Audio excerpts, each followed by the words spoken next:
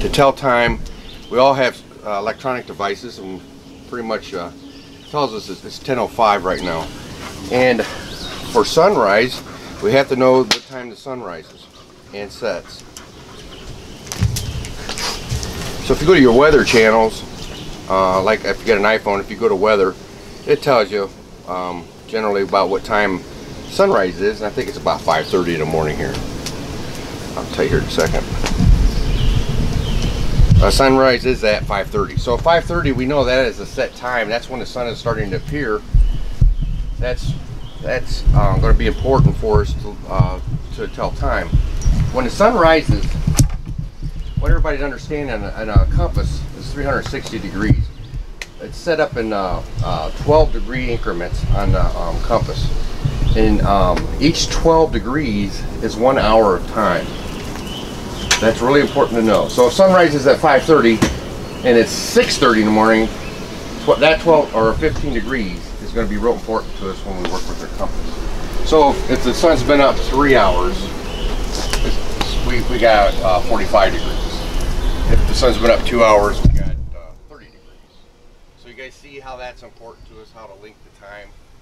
Now to tell time, we have to have a horizon. It's going to be kind of difficult because we got hilly areas. If you were down on the bottom and needed to wait for sun to rise, you'd probably be screwed for the first three hours. But we're on top of a hill. We generally know the sun is right there. We know north is here. Sun rose over here and is there now. If you take your fingers, this is 15 minutes, 30 minutes, 45 minutes, one hour. Put your hand on the horizon, four hours raise it and count up to the sun. Okay, so we've got one, two, three, four, five, six. We got six. Um, the sun has been up six hours already, and the sun rised at 5:30. Well, what is it? Uh, 10, 10 after 10. So 5:30 times six, or uh, six five times uh, if we have six hands it'd be six uh, uh, 15 degrees.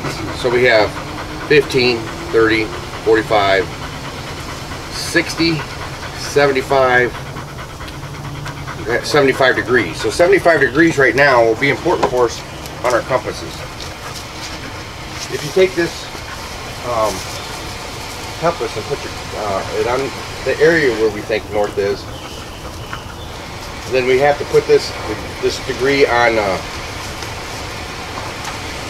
see where my 15 is here? 30 degrees, 45, 60, 75, 90. That's the area of the compass that we're going to be able to tell what time it is. So I wasn't really prepared. I have to get us a piece of string to add to our, our compasses here. Now, everybody has a phone, everybody has a compass. Pull your compasses out or your phones out and get an idea where north is. My Mine's telling me north is this way, right towards uh, the V tree right there. And so due east is where this big tree is right here. So that's where sun rose right here. If we were going to take the reading from where I'm standing, that's the, that tree right there is east and the V is north. Now, what I'm teaching you guys is, once you get used to learn how to do this, you won't need to know uh, exactly what time it is, because everybody has a clock. But if you don't have a clock or any kind of a watch or anything, knowing how to count your fingers will get you uh, your time for you. Knowing knowing that the sun rose at, uh, 5.30. Well, knowing the sun rose at 5.30, we have six hands, so that's six degrees. That's uh, 75 degrees. It'll be it'll be 90 degrees. Pardon me? Um, it's 10 something right now, and you said so six hours plus five would put us uh, a little later. Is that kind of the daylight savings time? It, it probably is, yeah. Okay. Yeah. So it's accurate. Because we add, yeah, we add off by exactly one hour We- because of BST. Yeah. Cool. Well, we'll we'll add that. We'll figure that in when we once we get going. But to, if if we know east is here, and you guys don't have any idea what time it is, and, and we don't know where north is, so we, we put our, our right shoulder on east. We take our, our sheet here, and uh, one of these compasses with the stem here, put it on north, and we got right now right at uh, almost due west. The, the needle is pointing almost due west. It's pointing it north. Um, okay, having the sundial set on a due north and, and I got east set, the sun is almost directly pointing due west with my shadow. So that gives us our 90 degree on our fingers. So that, so that tells us um, where, where our fix is is due west uh, for the shadow. If you put a, your string on due west and you walk through the woods and say you need a heading of, say you need to go east, keep your shadow on due west all the time, all you, you know that that is east, walking. And you can maintain a compass heading with just the sunlight on your board, as long as it stays right up to W. Now you gotta remember, every hour, the sun moves in the sky. And so it's gonna change our um, shadow. It's gonna change it uh, 15 degrees each hour. So as we're walking, you know our sun rises in the east and sets in the west. Our shadow is going to move towards the west more. and uh, with that happening in an hour, it would be uh, uh, just at 15 degrees south of, of, west. So that's how you know where your your north is all the time. With the shadow, each hour you just change your position on the shadow 15 degrees, and it'll keep you due north. But it's all based on where the sun is in the sky. And um, we, we know that uh, if we put a stick in the ground and we can uh, uh, mark it where our first hour is, we'll say that's where uh, the sun is right now, and, and say 15-20 minutes the shadow's going to move, it'll create an arc that we can be able to uh, determine where is uh, east and west on the ground. So we'll, we'll, mark this here in a little bit. The key of this is, is to try to determine uh, um,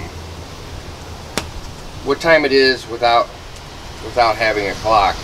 If, uh, if we wanted to take a reading on um, the sun and we put our edge of our board towards the sun where the east is and measure it,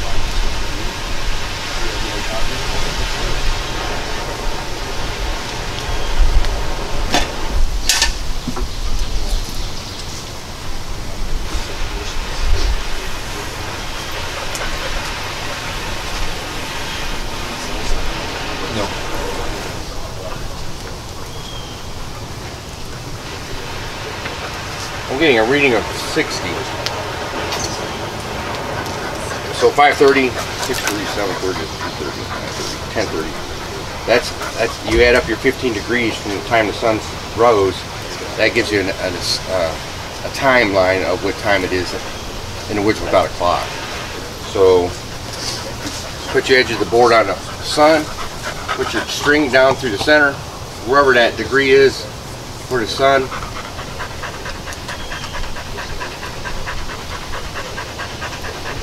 45 degrees.